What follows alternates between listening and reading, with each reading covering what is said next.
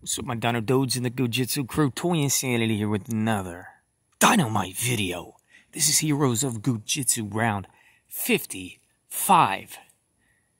Of course, that means I finally got the third of three Jurassic World Velociraptors.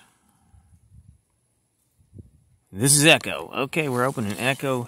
This is Blue. We opened him in 45. Uh, it's actually a girl. Her sister, Charlie, we opened in 46. And this is their sister also, Echo, which took forever to find. I think technically Moose put it out in a different wave. I did find it at Target, regular price, $15, just like the first two. But you know, this one commands a little more on eBay and such if you're having trouble finding it. And let's go ahead and mention the fourth sister of Owen's Velociraptor squad, Delta, they did not make. Okay they had a mediocre, halfway decent idea of like let's make let's make the Velociraptors into stretchy Goo Jit Zu dinosaurs, and they didn't even do, they didn't even do all four. I mean, they could still do the fourth one. Who knows? My fingers is crossed.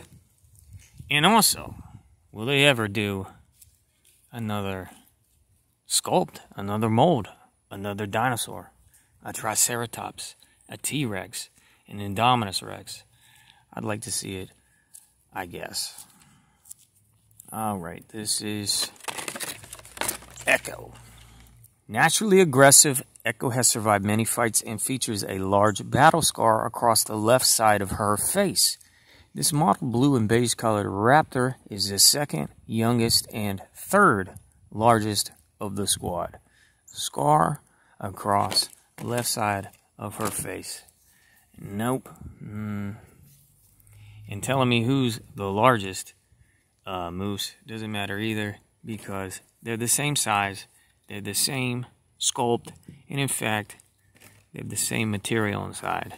I think if, at the barest of bare minimums, they could have switched out the contents. Make one a little bit sandy, make one crunchy. But goodness golly gosh, they're exactly the same. And we will probably never get a Delta. Oh, there it is. Who's your favorite? Oh, okay, my favorite is, uh, I guess the new one. I like the color. Tealish blue. Stripe patterning down the back. Painted toenails.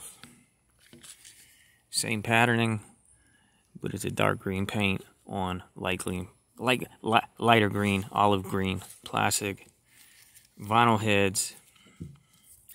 And we all know Blue. Spoiler alert, because he's the only one of the four that survives to the second Jurassic World movie. He has, uh, you know, just two stripes, which are coming off. That's what happens when you put paint on stretch rubber. Alright, well, let's see that stretch. Tail to head. Ugh. uh, arm to arm.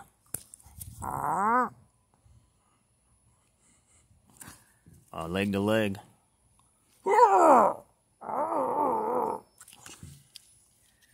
And that's about enough. Okay, set complete. I get these stands on Amazon. They are 10 for $7. And they look great with the regular Goo Jit Zu figures. They're a little wonky for uh, the Jurassic Park ones. But I had them pretty good at the start. I think then I slapped a package into them. So I, ha I have this foot coming down and this foot stacked back. And it looked, it looked decent. I thought it did at the beginning. But, uh, you know, when I introduce the third to a stand, I'll have them all probably facing the same direction. Probably this direction, since that's, uh, you know, the packaging direction. And you get the nice tail coming at you instead of the tail going away from you. I think those will look good on the display, and I'll just forever be looking at said display thinking, Oh my gosh, why didn't they do Delta? And then, of course, uh, I've described before you, you, you, once you commit to the placement on the stand, you want to just cut that with your blade. Okay, and then you could even put a little dab, a little, little dab of super glue there. Okay, hashtag not sponsored, hashtag not endorsed. I, I just, I got so sick and tired of Goo Jit Zu's figures not standing up. I'm like, I'm, I'm gonna just do it. I'm gonna throw down the money and commit to some stands. Because, you know, we talked about it every other time. They just sit there and squirt there and just never stand up. Not a great figure to display, but they're great figures to let your dog chew up. Unfortunately, uh, you know, you probably only get one chance to do that because it's going to puncture the rubber and the gel contents are going to be everywhere. Contents specifically say all new material, contents gel. Okay, moose. Very cool. Make Delta. Blue. Charlie Echo. They are all female. They are sisters. I think we saw on the last one something is written inside here. Here we go. Here we go. Okay. Whoa, it's stretchy. Your stretch figure will break if you pull them too far. Excessive stretching could result in damage to the toy. Forget the cold or heat. Don't put it in cold or heat. When the figure's cold, it's more difficult to stretch. Do not overstretch. Just lots of don'ts. Don't wrap a tight figure out a person's head, arm, leg. Don't tie knots too tightly, not individual limbs. Don't pull from shoulders or upper arms. Don't puncture or bite. Keep away from your pets. Don't pull the dinosaur's head. Oops. Don't twist the dinosaur's legs or waist.